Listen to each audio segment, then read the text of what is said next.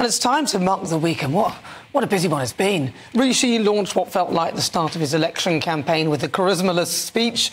I'm sure he was saying all the right things, but many had just stopped listening. Despite having 14 years with nothing to do but think about the future, Labour have almost nothing to say about it.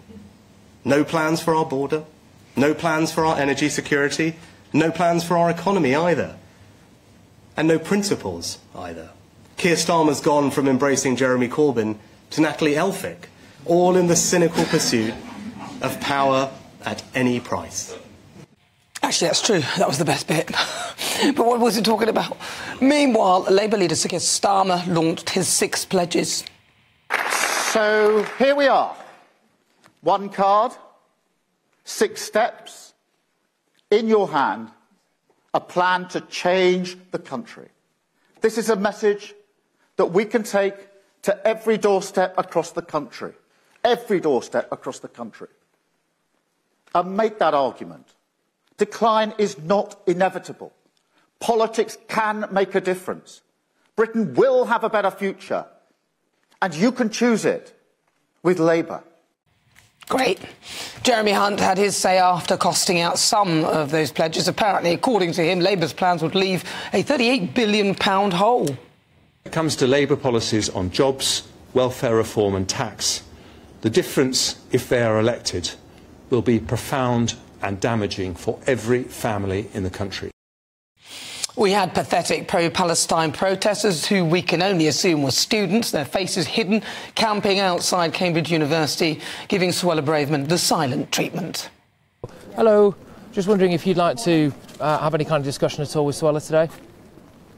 Hi, I'm Suella. I'm keen to find out your views and what you're protesting about. Nothing at all? No? Interested in why you're covering your faces. Is it a COVID or a health measure? Pretty childish, really, all of that, wasn't it? I mean, we can only assume that they, these people that are giving the silent treatment were students, the great minds that will be running this country. Seriously, grow up, people. Things didn't get any better in the studio when one of them, I don't even think she was a student, Fiona, I think it was, was invited to talk directly to Suella. Um, well, so, so you're saying your encampment has nothing to do with the events of October the 7th or Israel's uh, response to October the 7th.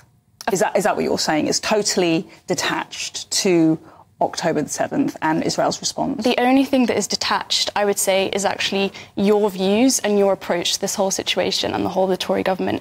The people, the student protesters, are very attached to what is happening in Palestine, and they are doing what they can in order to stop universities who provide, I think, 450 million pounds to the Israeli state, to the Israeli military, rather than investing in their own education um, and what they should be putting money into you are the one and your government is completely out of touch with what actually the majority of people in Britain think about what's happening. The majority of people in Britain do not support what Israel is doing. Hang on a minute. I think she was saying that because money gets sent to Israel, we, the students here don't get. Oh, I don't know. I've lost it. And then feedback from actual Nigerians on Harry and Meghan's faux royal tour. Meghan's claimed to be 43% Nigerian. This is the Nigerian action. Uh, so let me start with you. Oh, Are with you me? proud? Proud? 43%. Nigerian new entry. Meghan, the Duchess of Sussex. I don't know if I have to be proud. If that's if that, if, no, I don't need to be proud. said it. Rather, I feel like she's going to add to the negative list that we already have in Nigeria. It's been a mucky old week.